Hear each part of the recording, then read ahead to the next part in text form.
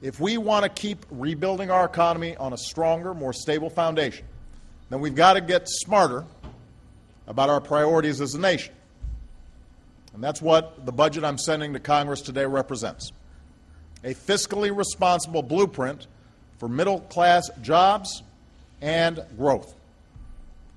For years, the debate in this town has raged between reducing our deficits at all costs and making the investments necessary to grow our economy. And this budget answers that argument because we can do both. We can grow our economy and shrink our deficits.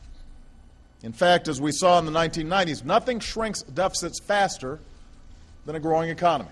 To make America a magnet for good jobs, this budget invests in new manufacturing hubs to help turn regions left behind by globalization into global centers of high tech jobs. We'll spark new American innovation and industry with cutting edge research, like the initiative I announced to map the human brain and cure disease. We'll continue our march towards energy independence and address the threat of climate change. And our Rebuild America partnership will attract private investment to put construction workers back on the job, rebuilding our roads, our bridges, and our schools, in turn, attracting even more new business to communities across the country.